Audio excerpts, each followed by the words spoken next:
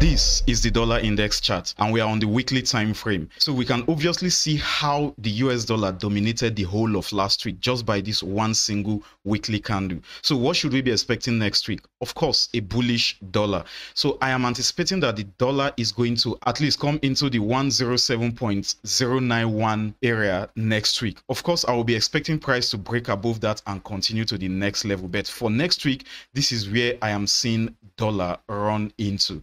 So let's go to the daily time frame and see price action from the daily perspective. Obviously, we can see that price has obviously created a new higher high. All the way from this point, price created a high, a higher low, and then a higher high. So I expect this continuous push to the upside if we go to the four hour time frame on the four hour time frame if you remember last week price was trading around here when i made last week's video and i said i'm expecting a pullback into this zone before we continue back to this green zone here even though obviously we can see that price has broken above it though i had a plan b and that was if price breaks below this green zone then I'll be expecting a pullback into that zone. Then we are going to fall all the way down to this zone. But obviously, we can see that our plan A played out and price continued higher from that zone.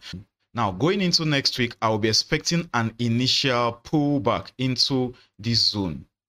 Before, if I see a bullish engulfing candle, then I may be bullish. All right. So, going into next week, if I squeeze out my chart, this trend line is coming from this top here on the four hour time frame, connecting these two um, previous zones around here then I projected it into the future. Now price has broken above that trend line and above this green zone, right? As you can see, I captured these points here. Now price has broken out of that trend line and out of that green zone. So if price will only graciously give us a solid pullback into this trend line and into this green zone before we find momentum to continue pushing upward, that will be very, very nice to see all right. I would actually like to see a pullback into this trend line that also confluences with this green zone before we now make our way into 107.091 all i'm just trying to say in essence is next week dollar index i am bullish and i'd like to see this pullback happen before we continue higher. Now let's go look at some pairs, some dollar pairs, starting with Euro USD as usual. So Euro USD, we can see how price has bounced off this trend line significantly. This trend line has been tested about three times before price came back into that trend line. So price came back there, gave us a solid rejection and continued downward. So but let's check out the daily time frame so that we can see some clean price action. So on this daily time frame, everything is telling us that euro usd is pointing downward. As a matter of fact let's go to the monthly time frame so that uh, we'll see why price is going to continue falling on the euro usd so on the monthly time frame we can see that price created an impulsive move to the downside between this zone to this zone. Now it has come back to this area right? And we are beginning to see for the past couple of years now i mean if i put my mouse around here price has been ranging since um january or february 2023 till now around this zone here. But regardless of that, price came back and has tested this zone and is finding it difficult breaking and closing above this green zone here. As a matter of fact, price is beginning to give us something like a double top formation. And a double top formation is a bearish reversal pattern, right? So I'm expecting to see price come into these areas first of all before if we break below this area, I'd like to see price continue to this area here. So the monthly time frame is printing a double top. The weekly time frame, let's go to the weekly time frame, is printing something like a head and shoulders pattern, right? As you can see, this is the left shoulder, the head, the right shoulder and we are seeing impulsive move to the downside. So guys we are yet to break the neckline. So for now i'm expecting price to continue to this zone here before if we find enough momentum to break below the zone which is what i'm expecting to see then price will make its way to these lows here which is around 0.95678 areas. And then if we go to the daily time frame Price is also creating a head and shoulders pattern. As we can see here, the left shoulder, the head, the right shoulder, right? So, and now price on the daily time frame has actually broken below the neckline of um, this head and shoulders pattern. So currently where price is, will still have a significant move to the downside on this daily time frame. We are talking about a 154 pip move to the downside. And if we break below that, then we are coming to these lows here, which is a massive, massive move to the downside.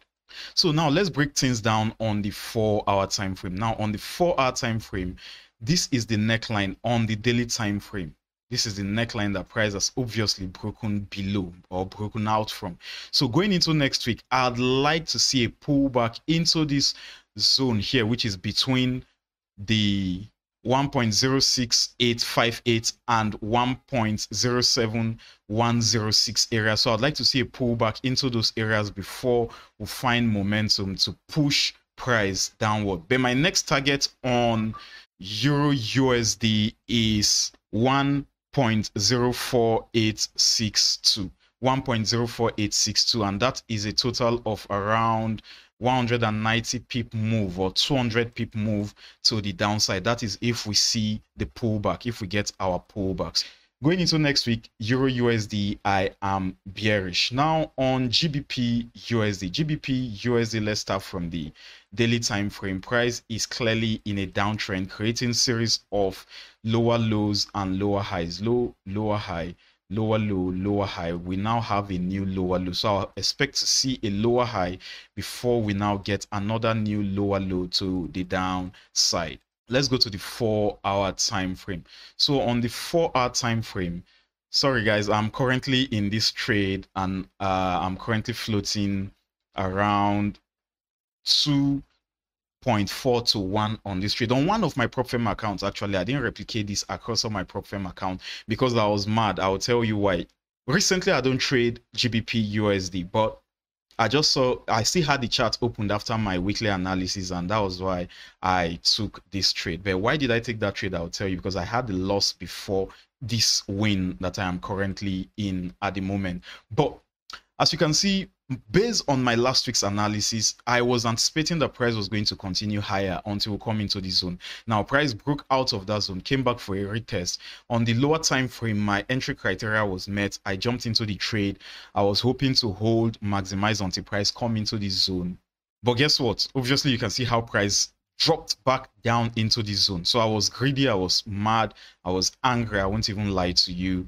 And uh, but when I saw this solid push to the downside, it was a cue for me that okay liquidity has been taken and that was why price had this fuel to push down the way it did. So i didn't even hesitate. I just jumped into the trade immediately like that. And my my stop loss was above here.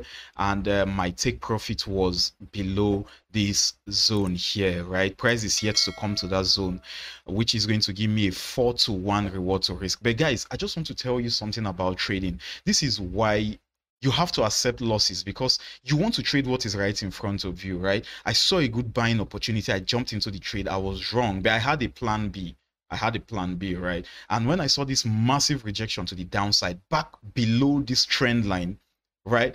I felt like, okay, that means that trend line has been violated. That is a manipulation right there, and price is going to continue downward. And I jumped into that trade, and uh, obviously I was right this time, right? And I'm currently floating two to one, which means I have recovered my initial loss and I am in profit of another 1% because I'm risking 1% on this particular prop firm account. And on my swing account, I'm risking 3%. So I have 3% risk on this trade. So I'm 3% up currently since we are trading currently at 2 to 1 from my entry.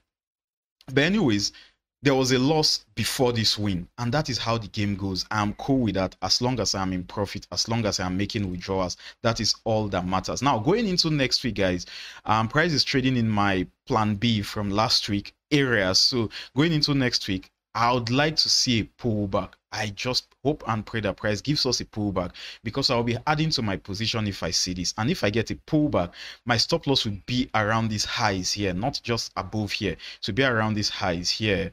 And then I'll add to that position and still hold till price come to this zone here but if we go back to the weekly time frame price is not just targeting that zone price is actually targeting a much bigger zone which is way below here all right if i go back to the daily time frame um my zone my long-term zone is actually around here. So if that pullback happens and we can hold until price come into this final target that will be a 400 pip move to the downside on gbp usd big big move.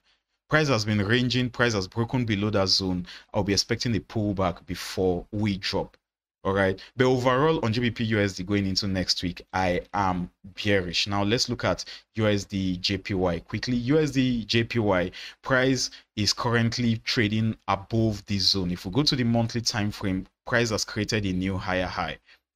Price has created a new higher high right? We're trading around here. So i'll be expecting to see price come into this next zone here which is around 160.000 area right? So on the weekly time frame the same thing.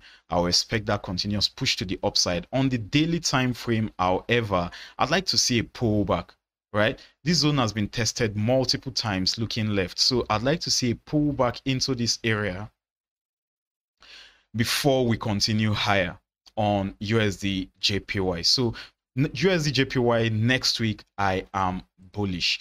Now let's quickly take a look at Euro JPY. Euro JPY last week, I'll go to the four hour time frame. Euro JPY last week, uh, price was trading around here, and I was like, I'd like to see price come into this zone here, but also on the four hour time frame, my next target is 165.336. The price came this close right? So which means money was still made for those that traded this. I believe you won't just open your eye and see price take you out, right? After being in significant profit. However, price continued higher as I predicted came this close to our take profit region before selling off. Now, going into next week, I'd like to see price take out this green zone, which is between 162.543 and 162.747. So I'd like to see price take out that zone, come back for a retest before we continue downward. So my next target on Euro JPY is around here, which is 160